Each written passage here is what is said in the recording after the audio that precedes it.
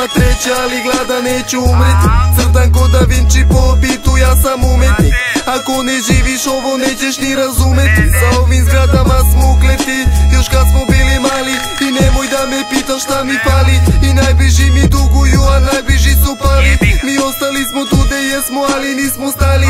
I radim to što radim, i jesam grešan, ali troje usta si ne hranim. I svega sam ja svestan da jednom ću da patim Al pati i da gazi Tamo gde ja gazim, ali bruda pazi.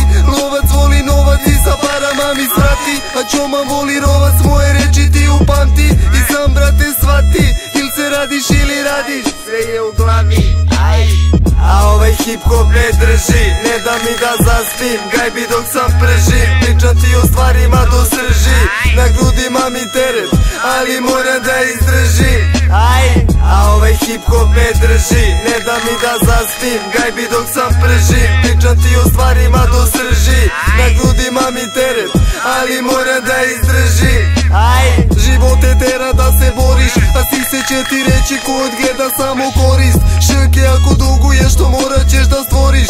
Dug je duga, dug je druge pare ćeš da rodiš. I kako znaš i umeš I kako znam i umem ceo život svoj se trujem. Raznim stranjima sad nema vremena za odmor spavat ću kad umrem. A ovaj rep me drži budim da li me razumeš. I sad u grudima mi jako lupa čuka. I mnogo gadan trip je si neka te neko druga Vi ne znate šta je muka A što kaže buka. Kod ruka druknut će ga druga usta. I veruj to su stvari realne. E, Moja braća pišu tekstove. E, Ove ulice su nemirne. Jedna greška brate nema te a ovaj hip hop ne drži. Ne da mi da zastim, gajbi dok sam prži Pričam ti o stvarima do srži Na grudima mi teret, ali moram da izdrži. Aj, a ovaj hip hop me drži. Ne da mi da zastim, gajbi dok sam prži Pričam ti o stvarima do srži Na grudima mi teret, ali moram da izdrži.